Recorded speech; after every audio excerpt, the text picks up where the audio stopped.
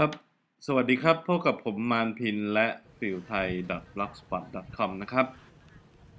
ขณะนี้อยู่ที่ตรงอู่ต่อเรือพระเจ้าตากนะครับ ตรงด้านหน้าก็จะมีชายหาดยาวนะครับ อยู่ที่บ้านเสม็ดงามเมืองจันทบุรีนะครับ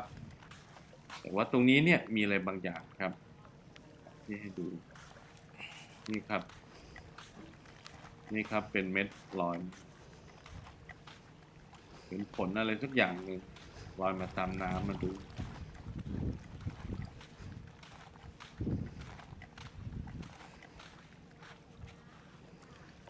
นี่ครับ มันคือลูกจากครับ คือลูกจากที่มันจะออกมาเป็นผลจากในยวันนี้มีจุกสับปะรดด้วย ที่เราเห็นเป็นป่าจากเนี่ย อันนี้มีฝักพืชอีกอื่นที่ลอย คือลูกจากเนี่ยมันก็จะลอยสุกแล้วมันก็จะลอยออกมา มันก็แตกออกมาแล้วก็ลอยออกมาเนี่ยครับ ตามน้ำครับ มันก็คือแพร่พันธุ์ตามธรรมชาติของมันนะครับ อันนี้ลูกอะไรไม่ทราบครับ